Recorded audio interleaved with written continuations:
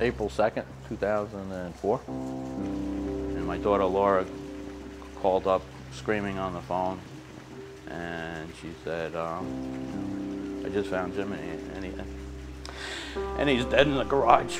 And, uh, and then she was screaming and then a police officer picked up and I'm saying, like, you know, I just remember saying, are you sure, are you sure this can't be happening? And uh, I said, sorry, I'm, I'm, I'm sorry, you know, he, he's, he's gone. Just couldn't believe it, unexpectedly. And then, I guess guilt that we didn't see it and that we didn't, uh, we didn't have a chance to even tell him that he loved him and he shouldn't have died by himself. that was the worst part. He was such a beautiful, such a good kid. He should not have died by himself. That's all that I think about now. Is that, you know, I failed him and I failed to see the pain he was in. He was good looking, star athlete, could talk to anybody. And that's why when he died, uh, it was a shock to all of us because we, everybody looked up to him. And maybe that was part of the, part of the issue is that he couldn't live up to his own expectations of what he expected from himself. I think if he knew that he was, that it, you know, he needed to see somebody, I think he would have told us, but I don't know that he understood on his own. We don't look at suicide as an act of choice. We don't believe somebody chose to be mentally ill.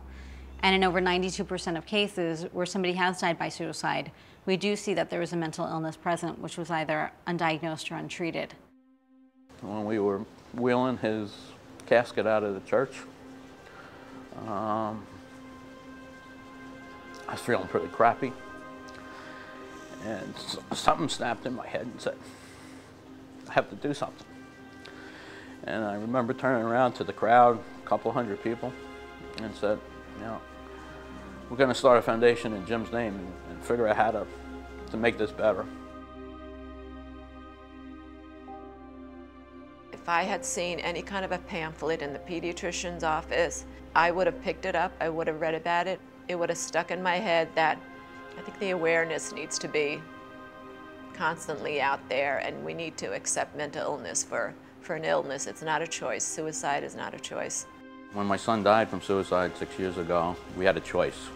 You could bury your head in the sand, do nothing, and that wasn't an acceptable answer to me. Uh, I loved the boy, still love him, and he meant the world to us. So now uh, I moved forward from there, and we're trying to make a, a, crusade for awareness. We're trying to make people aware of this darkness that's in our world, that we can recognize and help people out of their depression and their dark moods.